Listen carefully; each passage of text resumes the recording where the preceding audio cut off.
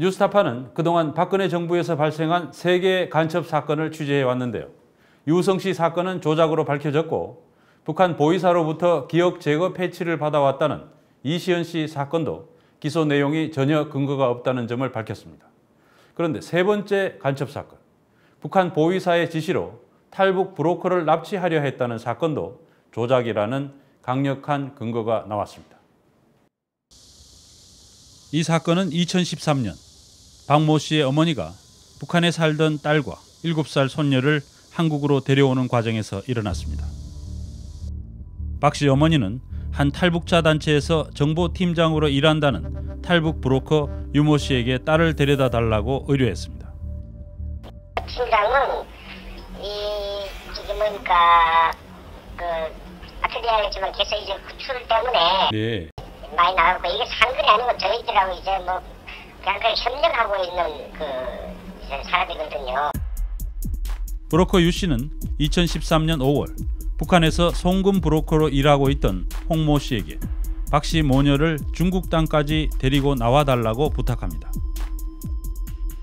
홍 씨는 자신이 살던 곳 근처 두만강을 건너 박 씨 모녀를 중국으로 데려가려 했습니다. 탈북 브로커는 강 건너 중국 땅에서 기다리기로 했습니다. 그러나 홍씨 일행은 두만강을 건너지 않았고 수백 킬로미터를 이동해 압록강을 건넜습니다. 압록강을 건넌 뒤 홍 씨가 데리러 오라고 연락했지만 브로커는 오지 않았습니다. 홍씨 일행은 다른 브로커를 통해 한국으로 왔습니다. 이후 브로커 유 씨는 홍 씨가 자신을 납치하려 했다고 국정원에 제보했습니다. 처음 약속했던 곳으로 나오지 않는 등 몇 차례나 약속을 어겼고 나중에는 매우 위험한 곳으로 자신을 불렀다는 것입니다. 국내 비전향 장기수의 가족과 접촉하고 탈북자들의 동향을 파악하는 것이 목적이었습니다.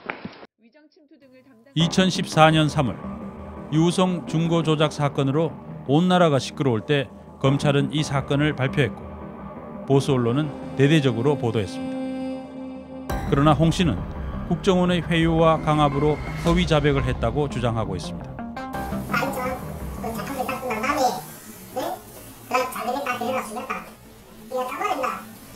데려다 준다고 북에 있는 가족들.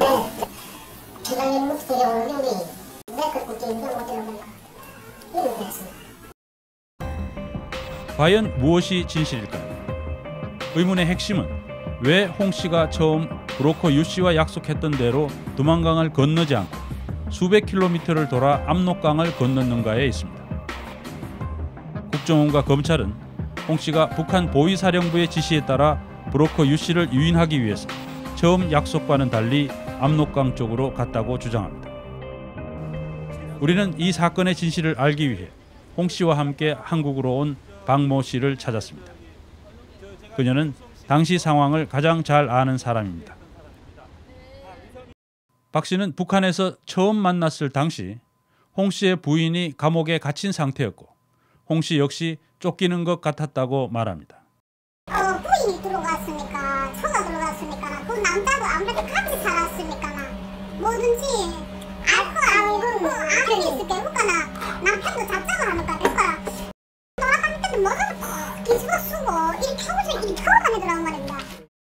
박 씨의 설명은 홍 씨의 주장과도 일치합니다. 오늘 같이 하신 거 아니에요 결국? 네, 그러니까 후주가 그 장롱도에 내가 한국 가서 했다. 한국까지 말했단 말이야, 거기서. 월부에서.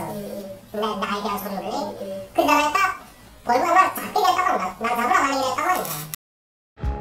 홍 씨가 쫓겨다니는 상태였다는 주장은 홍 씨가 보위사 간부의 지시를 받고 온 공작원이라는 검찰 기소 내용과는 모순되는 것입니다. 그렇다면 왜 처음 약속대로 두만강을 건너지 않았을까? 홍 씨는 두만강 지역에서 장교로 근무하던 동서에게 탈북을 도와줄 것을 부탁했지만 갑자기 동서가 다른 곳으로 인사이동돼서 결국 실패했다고 합니다.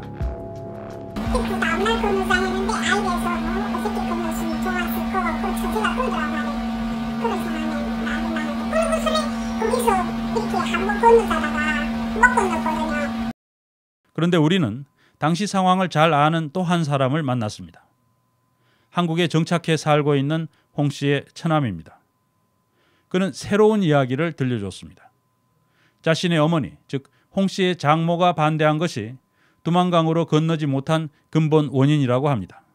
원래는 그 집 근처 있는 강으로 이렇게 가려고 했던 건데 네. 그게 안 되게 된 이유에 대해서 어머니가 이제 설명을 하셨죠. 네. 이유가 뭐라고? 그러니까 만약경 우리 집으로 보냈다가 그 중국에 넘어가서 북송되잖아요. 북송되는 당시에는 우리 집이 모두 다 죽어야 되니까 아무래도 그 루sol하게 됐잖아요. 거기서 취소를 받고 하면 그럼 우리 집이 모두 다 죽어야 되니까 어머니는 그런 일이 얼씬히 싫다. 그리고 또 무섭다. 다 죽어야 되니까 지금 한 사람 법에 들어가 있는데 그 누, 누나도 그래 또, 또 북송 되면 큰일 나니까 엄마가 쫓아보냈다는 거죠. 다른 데로 가는. 처갓집에서는 애초 박씨 모녀가 중국까지만 나갔다가 북한으로 돌아오는 것으로 알고 돈을 받고 도와주려 했는데 남한으로 간다는 것을 알고부터 위험하다면서 반대했다는 것입니다. 박 씨도 당시 상황을 기억하고 있었습니다. 한꺼번에 이게 야 넘겼으면 돈을 가져서 나눠 갖다 준 일인데 야 넘어간다 하니까 그러니까 자기들 이놈이 일으키니까. 와야 와야 그러면 빠지라 그러면 내가 하겠다. 이러더라 말입니다 거기서. 홍 씨는 동서인 경비대 장교에게 강을 건네줄 것을 부탁했지만 장모의 반대로 건너지 못하게 됐다는 것입니다. 조동된 거가 아니라 이제 무슨 다른 사정이 있었던 거예요. 네. 그러니까 어머니가 그분한테 그 그 또 다른 아니 그러니까 어머니가 어떻게 막 이때가 도움도 받고 그랬던 사이를 그냥 쫓아보낼 순 없잖아. 그냥 내 형이 조동된다는 그런 구실을 삼아가지고 그냥 진짜 아주 인상 불키지 않고 다른 데로 가게끔 한 것 같아 보니까. 내형 그쏙 후에 조동돼 갖고. 아 실제로 조동돼서? 된건 아니고 그때 아니고 그때가 아니고. 아니고 쏙 후에 내 형이 뜬, 뜬 다음 오래 후에 조동됐다고 알고 있거든 시기가 그렇게 되는. 네. 결국 두만강을 건너는데 실패한 일행은 방향을 바꿔 압록강 쪽으로 갑니다. 큰아버지 일찍 갔다 오던 게야 이런 손이 있단다. 이러더란 말이야 그래서 내뭐 그런 손이 있으면 갑시다. 나야 빨리 가. 하루라도 가자는 게 여보니까. 그런 손이 있으면 빨리 갑시다. 박 씨의 설명은 보이사령부 간부의 지시로 브로커 유 씨를 유인하기 위해서 압록강 쪽으로 갔다는 검찰 기소 내용과 완전히 다른 것입니다. 공 소장은 보이사 간부가 홍 씨에게 양강도 보천군의 밀수꾼을 만나 그 지시대로 하라는 지시를 내렸다고 되어 있지만 함께 이동한 박 씨의 설명은 다릅니다. 보이사 간부가 홍 씨한테 이야기를 해가지고 네 그 한테 가라고 해서 그냥 한, 한, 한 달음에 한테로 어, 가라고 해서 글이 바로 간 걸로 지금 돼 있는데 그게 아니고 예. 그게 아니고 여러 사람이 소개 소개해가지고 갔다는 거죠. 어머니가 가서 제가 옆에서 딱 봤거든요. 제가 가서 엄마 보고 아 우리 지금 저기 이렇게 돈 받아 하는데 좀 어떻게 해줄 수 있는가? 이렇게 제가 옆에서 딱 들었어요. 이렇게 하니까는 아 저기 이런 손이 있는데 그건 정확하다. 아, 이렇게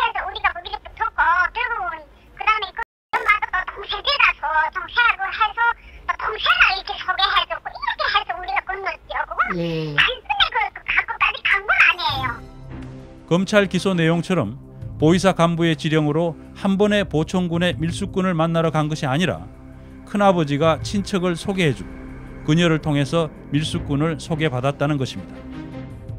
게다가 밀수꾼은 처음엔 일행 중에 아이가 있는 것을 보고 북한으로 다시 돌아오지 않을 것이라고 생각해서 강을 건네주지 못하겠다고 했다는 것입니다. 아까지 데리고 왔으니까 가자고 왔구나 이렇게 생각해서 한것 같아요. 네. 안 돌아올 거구나.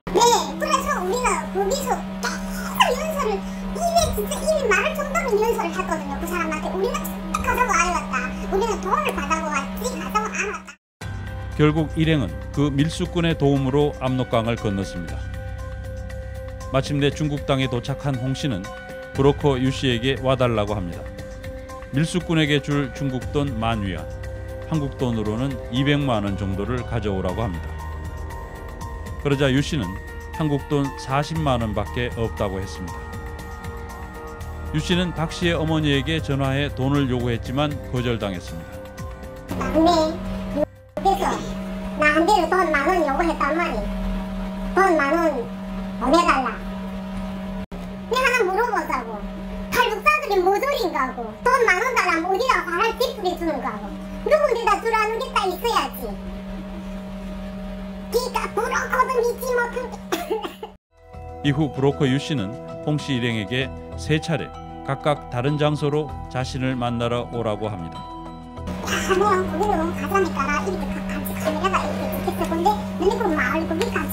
그그 마을만 좀 벗어나오라. 이래서 또 도보를 해서 또그 잠시 카메라도 건넜거든요. 우리 마을을 지나서 와서 형님네 우리 카메라 지나왔어 하니까 아유겠다고 전화가 왔단 말입니다. 유 씨가 오지 않겠다고 한 뒤 박 씨 어머니는 중국의 친척을 통해 돈과 먹을 것을 보냈습니다. 이 사진들은 당시 박 씨 어머니에게 보내기 위해 친척이 찍은 것입니다. 국정원에 따르면 보이사의 정보원인 이 밀수꾼은 무언가를 주머니 속에 넣고 있습니다. 그게 우리가 돈을 준 거 아, 서방비 준거 그 저번주에 주문을 였는 자세예요 아, 그걸 주머니에 넣고 있었구나. 아, 예. 이 붉은 빛이 나는 그 뭐가 들고 있는 것 같은데 그게 중국 돈이군요. 그러니까. 중국 돈이죠 중국 돈으로 8천 원을 줬거든요 아, 8천 위안을. 예. 네, 100원짜리잖아요 그게 중국 돈이 아니에요 그 사람은요 네. 같이 왔다 갔다 하는데 우리가 간다는 걸그 사람이 알았어요. 네. 그때 자체가. 네. 알고 저리 그 사람이 같이 기다려서 돈을 받아가 걸어갔다는 자체 그 사람이 가스르겠어요 뭐. 브로커 유 씨는 이후 박 씨 어머니에게 자신의 돈을 내놓으라면서 욕설과 협박을 퍼붓기 시작했습니다. 우리 영감이 요즘은 죽은 지 15년 되는 영감들이 너 영감이 보위부 스파이라는지 음, 그 다음에 뭐 보위부 눈까리라는지 음. 너도 그런 보위부 무슨 뭐이라는지 하면서 문자가 300몇 건 왔어요. 유 씨는 박 씨를 데려온 홍 씨를 사위로 부르면서 북한 보위부 정보원으로 규정했습니다. 딸도 임무를 받고 왔는지 보자는 협박을 반복했습니다. 박 씨 어머니는 브로커 유 씨를 경찰에 고발했고 유 씨는 결국 벌금 500만 원에 처해졌습니다. 이 사건에 대한 수사 당시 유 씨는 자신이 홍 씨를 데리러 가지 않은 이유는 박 씨 측에서 돈을 주지 않겠다고 했기 때문이라고 밝혔습니다. 그러나 브로커 유 씨는 이후 홍 씨가 자신을 유인해 납치하려 했다면서 간첩이라고 신고했습니다. 어, 그건 절대 아니고요. 그 사람이 우리를 오라고 했지, 우리가 그 사람을 오라고 하진 않았어요. 결국은 이제 유가 어떻게 보면 계속 자기가 있는 곳을 오라고 하면서 장소를 계속 바꿨군요. 네, 바꿨어요. 그 사람이 바꿨지. 우리는 뭐그 사람을 오라 한 적은 없거든요. 중앙합동 신문센터. 지금은 북한 이탈 주민 보호센터로 이름을 바꾼 이곳에 판사와 변호사들이 도착합니다. 이곳에서 강압 수사를 받아 허위 자백을 했다고 주장하고 있는 홍 씨도 도착했습니다. 현장 어딘가에 남아 있을 진실을 찾아내기 위해서입니다. 홍 씨는 과연 간첩인가? 대한민국 법원의 선고는 오는 9월 5일 있을 예정입니다.